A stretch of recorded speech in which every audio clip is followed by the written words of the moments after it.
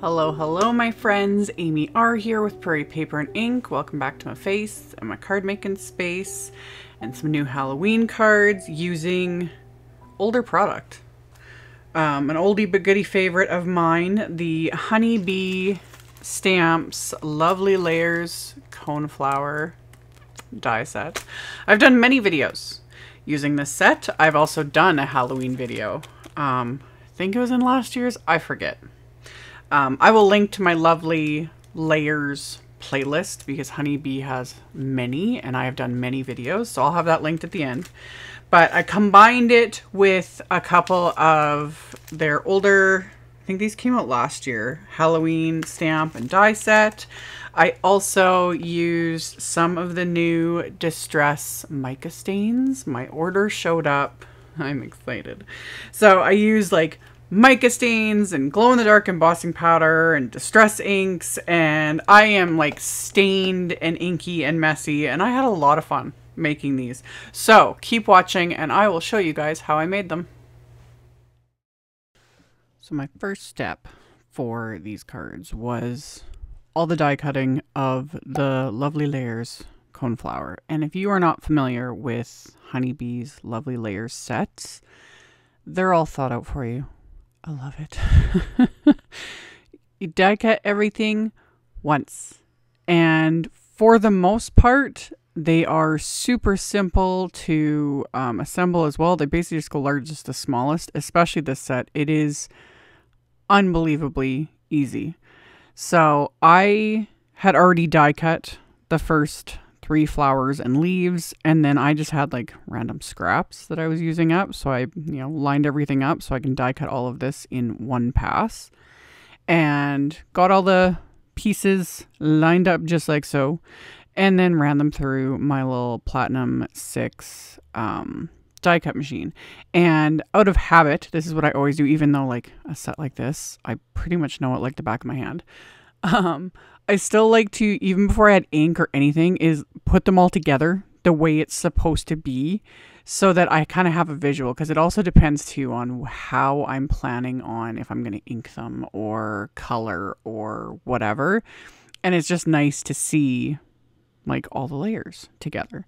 So, um, all of Honeybee's die sets now the packaging has the outline on it. This is again, this is an old set. I forget how many years ago this came out. And I just traced around the dies on the packaging there with a Sharpie so that I knew where to put them, you know, so I'm not sitting there fiddling forever trying to get all the dies to fit, you know. So, I love all the newer packaging and I'm not sure if it got transitioned to like the older sets like this, but yeah, all our packaging now has like all the outlines already like pre-printed, which just saves me an extra step, and I love it because I keep all my dies stored in the original packaging. I don't bother fiddling with the the nicer setups of you know putting it all in like proper sleeves and all the things. I I just don't bother. I just don't got time for that. Anyway, for the inking, I'm gonna use distress inks and I got my big waffle flower grip mat here just to kind of hold things in place. And I'm using my waffle flower um, size one or shader one brushes. And yeah, distress inks. Super simple. These are going to look like an absolute hot mess. I get comments about that a lot, hence me like really emphasizing it because like people will contact me really and be like, I just, I thought it looked so ugly. And then it all came together. And I'm like, well, yeah, that was the whole point. so anyway, these are these are going to look just awful, really, until they're assembled.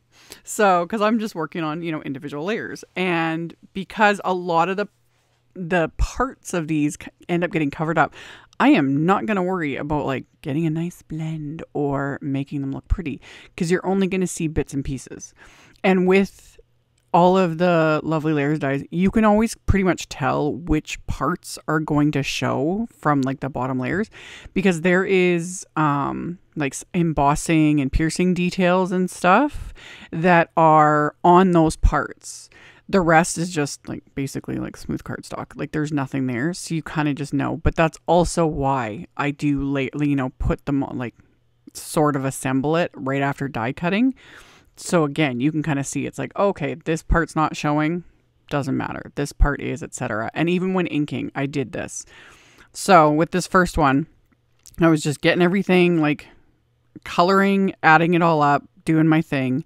I will link link to and list all the specific colors, but for the greens I was using Twisted Citron and Mowed Lawn, and the purples it was Wilted Violet and Villainous Potion. And these were actually inspired by flowers I have planted. Um, they're not cone flowers, they're it. I forget. I was gonna Google it before I sat down to do this voiceover, but now I forget. But whatever. Similar flowers, but I have ones that they they're like lime green towards the center, and then they go either pink or purple at the edges of the petals, which is just fun. And it's even more funny that someone messaged me not too long ago with a picture of theirs that were the purple and green ones, you know, as inspiration for me. And I was like, oh, already on it. no worries. I'm I'm I'm going there. And I wanted to do Halloween theme. You could totally not do. You could do this and just not do Halloween theme. That'd be great. But you guys know I love Halloween. And this is just a fun way to use some, like mixing both Halloween and non Halloween supplies.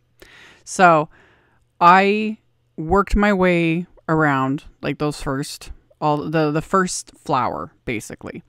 And then I laid out those layers there at the top. And then I just use that as my guide. It's like a little template. It's like, okay, I know where I'm going to add color, so I don't even need to think about it anymore. I'm just like, slap on the green here, slap on the purple here, done. And this is sped up. I don't move this quickly in real life, but you know, you get the gist of it.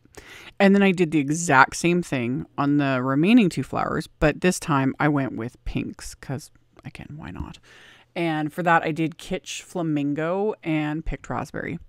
And again, followed my little template of what looks like an absolute hot mess.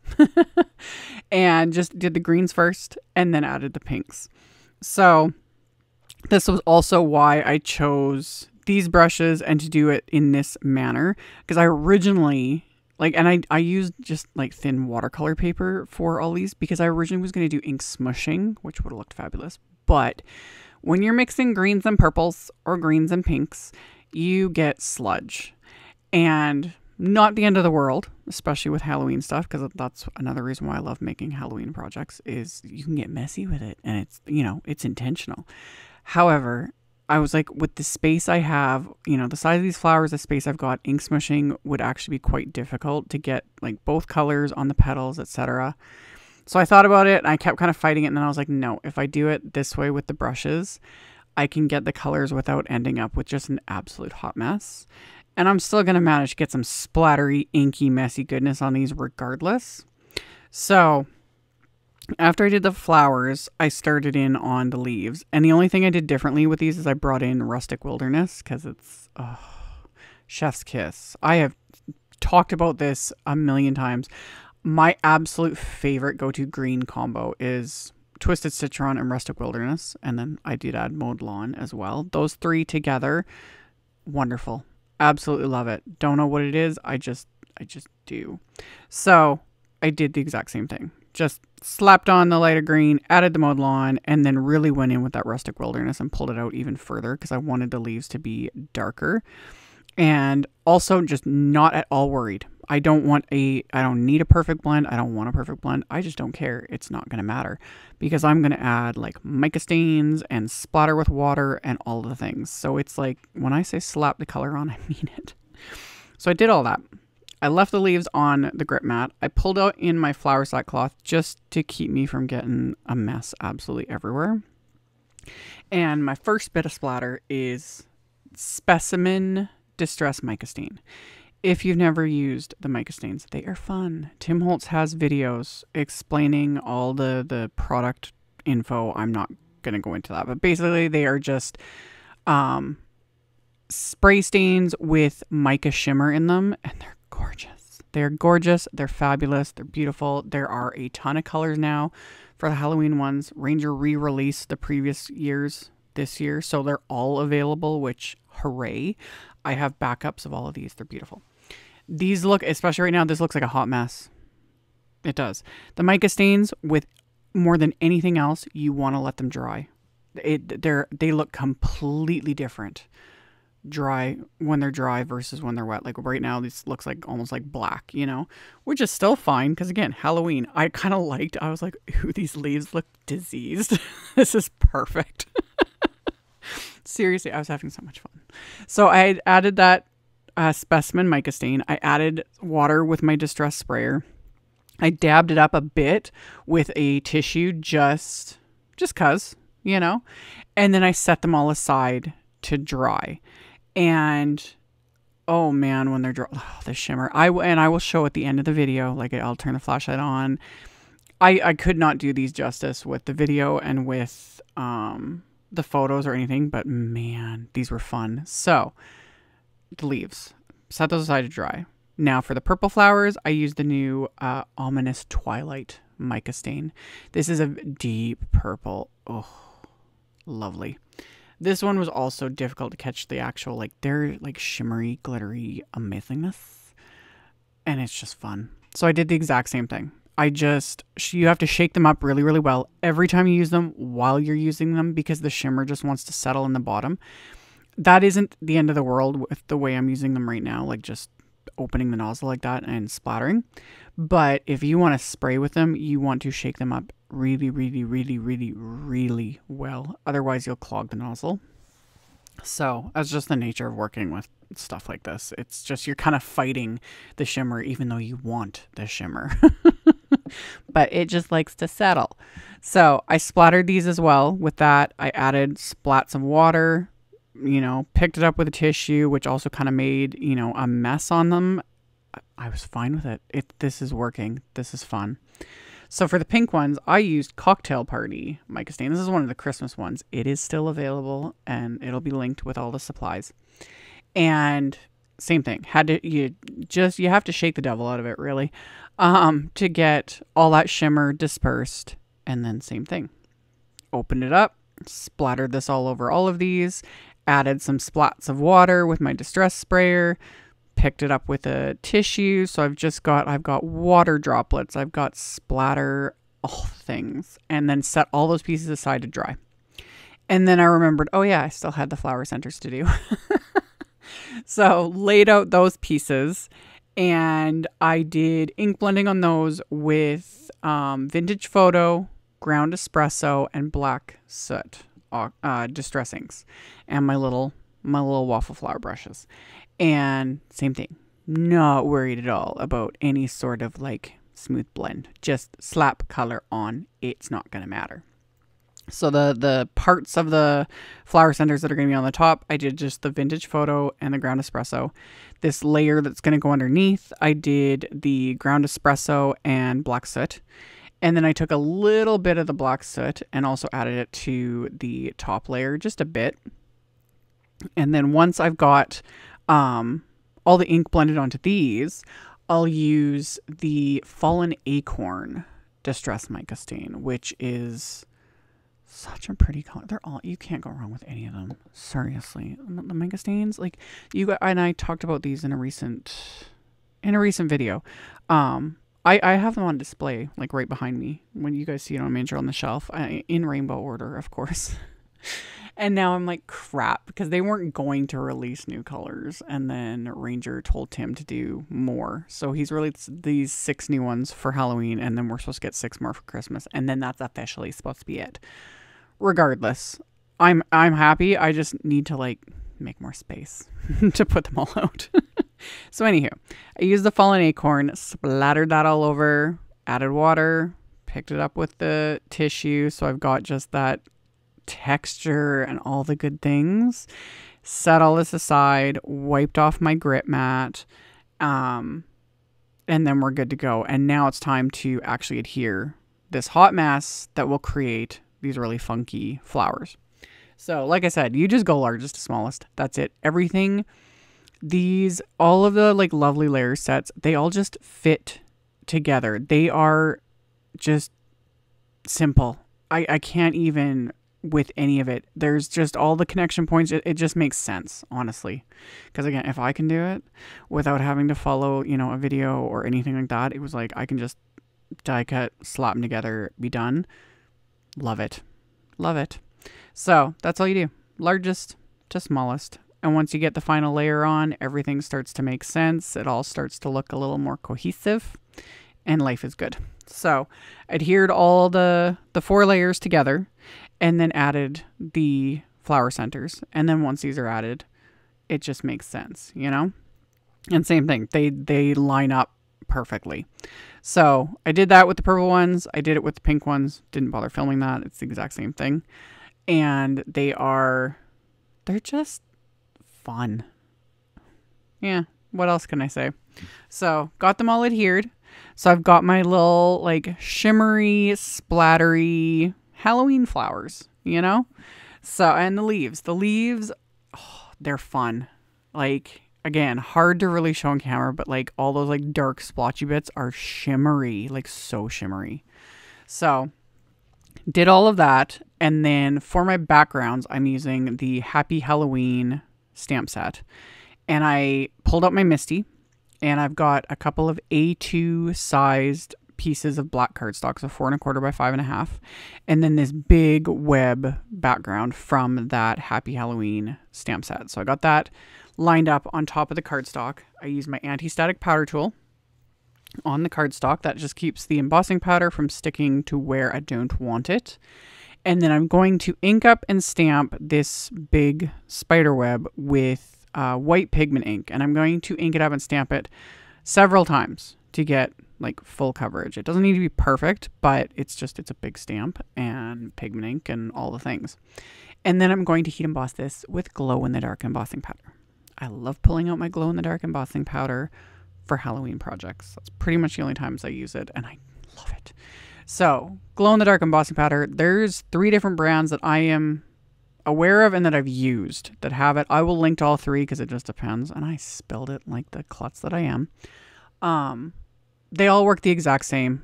It's they're they're great. The thing to note with specifically glow in the dark embossing powder is it's a bit finicky with stamped images. Um, generally, I use it more like I used it in a recent video where I just coat like an entire die cut piece with it. That sort of a thing. I'll layer it up. With stamped images, it can get a little finicky it, there's something about the, the like the glow in the dark properties that it just even with really sticky ink like a pigment ink etc it doesn't want to cling as much like almost think of it as like a you know with chunky embossing powders if you've ever worked with those those can be really hard to like get to stay in place until you melt them kind of the same thing however Stamping the, an image like this with thicker lines works great. If you're trying to use a really detailed image, something really finely detailed, that sort of a thing, and gl- specifically glow in the dark embossing powder, you're going to have a hard time. It just it just is what it is. So, I love it though. And I again, I was able to get a photo of it in the dark with these glowing in the dark and they are just so fun. So I will have that photo at the end as well and it'll be on my blog. So, anywho, after I heat emboss those backgrounds, I put them in my splat box and I sprayed the backgrounds with that specimen distress mica stain. Look at it. Isn't it amazing? Oh, love, love. uh, see, I had so much fun. Anyway, I cleaned off the background stamp because it had all that white pigment ink on it. And then my card bases are going to be top folding uh, A2 white note cards, so five and a half by four and a quarter. And I folded the card base inside out and then just used some Easy C tape to hold it closed. And then inked up and stamped that, that spider web onto what will be the inside of the card with Simon Says Stamps flannel positively saturated ink. So just a nice light gray ink. And then did the exact same thing with the second card. And you can't Oh no, you can kind of see it on camera. I managed to like smear some of that ink on the inside of the card and I was like, whatever. Going with it. I'll cover it up later. Wasn't that big of a deal, honestly, and it's not like super noticeable. But I set those aside. I grabbed another piece of black cardstock and I'm using one of the big Happy Halloween sentiments from that same stamp set. And I'm going to do the same thing as I did with the background. So I use my anti-static powder tool and I'm inking up and stamping the sentiment um, several times with the white pigment ink. And this is where I should have done one sentiment at a time. You can't tell. You guys can't tell. I could. Um, again, you got to move like not necessarily super quick with glow in the dark embossing powder, but it works if you just do one thing at a time.